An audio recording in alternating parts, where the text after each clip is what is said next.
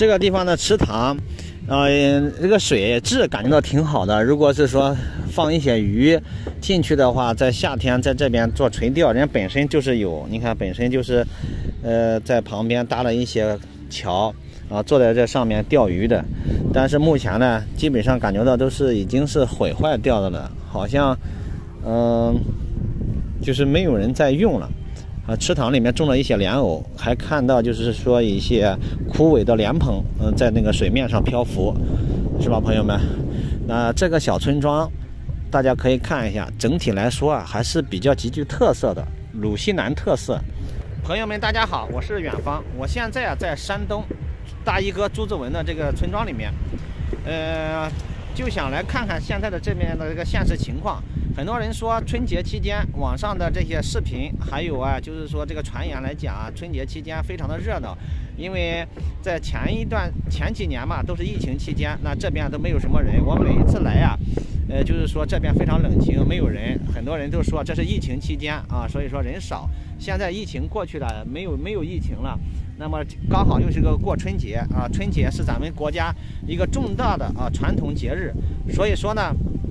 大家都在春节期间休闲娱乐玩耍，呃，也是说因为朱之文的名气比较大吧，大家都知道，呃，耳熟能详的，比较熟悉，并且他一直是住在村里面的，所以说他的这个热议点是非常多的，争论点也很多，呃，整天都是会看到他们他的一些新闻，呃，有一些人呢对他呢就是说这种。说法呢褒贬不一，有说好的，有说不好的，等等的一切吧，所以说就造成了这个村庄跟着他的知名度也发展起来了。我们眼前看上去呢，就是他们村里面的那个小公园。呃，熟悉咱们的老朋友都知道，也是经常性会在咱们的镜头里面出现。前面呢，就是他们那个广场有亭子啊，现在就是说明显的能感觉得到，哦，就是红红绿绿的，然后里面的一些游乐设施啊，或者是一些商家啊，或者是现在我们在镜头里面能听到的一些音乐的响声啊，那么呢，它都是呃说明啊，现在呢还是比平时要热闹一些的。我的视频呢，呃，有可能会延迟，但是延迟呢不会是很长时间。所以说现在这个时间段，呃，就是过年虽然是过去几天了，过几天呢会下雨，这个时间段呢更好是一个好的节点，呃，所以说还在春节范围这个氛围之内，哎呀，它还没有到元宵节嘛。呃，在我们的印象当中啊，特别是在农村过年呢，都是说正月十六以后啊才算是过完年。如果在那个城市的话，过年呢，那肯定啊就是说，呃，初几啊走走亲戚，然后上班了以后啊，基本上年味儿就淡了。但是农村不一样。这边呢，就是他们这里的一个农场，在以前刚开始的时候，这个祝楼村火爆的时候，这个农场这里面也都是人非常多的。虽然是说现在又是过年，然后呢又是疫情期间过了，大家可以看一下，就是说我放眼望上去，这里面基本上就是没有什么人的。在以前最火热的时候啊，那个时候大衣哥他也说有有三四万人，呃，在这个村庄里面，呃，就是游玩。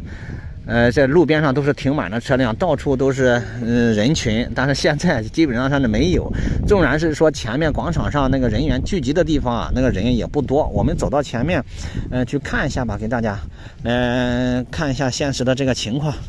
你不得不说，就是如果到夏天的话，就是春暖花开，呃，他们这个村里面的这个绿化啊，做的还是非常好的。你看这绿化树啊，芦苇啊，什么那个公园亭子。呃，这都有，对吧？看，现在就是前面呢，就到了他家的门口，然后呢，这边呢就是他们广场的一个商业区，是吧？大家可以看一下。啊，从这里看上去呢，他家门口的人呀也不是很多，是不是，朋友们？然后这边的商业区还有一些人在这边。那个游玩玩耍的啊，各式各样的游乐设施，还有小吃，对吧？看一看，朋友们，眼前就是这种情况。总体来说呢，就是说和网上传的那个区别啊，还是挺大的。